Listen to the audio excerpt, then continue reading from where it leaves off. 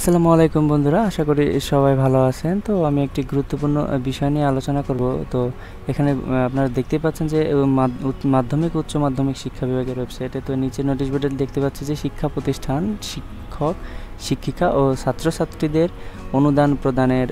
Online আবেদনের সময়সীমা। বন্ধুরা তো বিজ্ঞপ্তিতে আমরা দেখতে পাচ্ছি যে উপযুক্ত বিষয়ের প্রেক্ষিতে বর্তমান কোভিড নাইন্টিন পরিস্থিতি বিবেচনায় শিক্ষা প্রতিষ্ঠান, শিক্ষক কর্মচারী ও ছাত্রছাত্রীদের বিশেষ অনুদান প্রদানের লক্ষ্যে অনলাইনে আবেদনের সময়সীমা আগামী পনেরো মার্চ দু হাজার একুশ তারিখ পর্যন্ত নির্দেশ ক্রমে বৃদ্ধি করা হলো।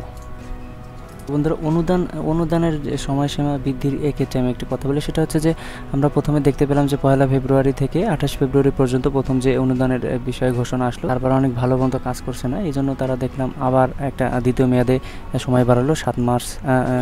পর্যন্ত, এবং সাত মার্চ পর্যন্ত অনেক শিক্ষার্থী তারা আবেদন করতে পারেনি অনলাইনে, এবং এর পরিপ্রেক্ষিতে আবার সাত মার্চে একটা নোটিশ জারি করল যে পনেরো মার্চ পর্যন্ত লাইনে আবেদন করা যাবে এই অনুদানের বিষয়ে। তো বন্ধুরা, আমরা নেক্সটেও দেখতে পাবো যে পনেরো তারিখের পরেও যদি সার্ভার একই রকমভাবে কাজ করে বা অনেক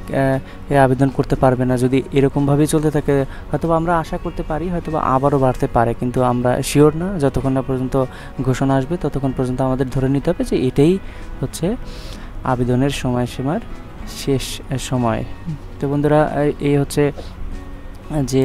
শিক্ষা প্রতিষ্ঠান শিক্ষক কর্মচারী ও ছাত্রদের যে অনুদানের যে অনলাইনে আবেদন করার যে সীমা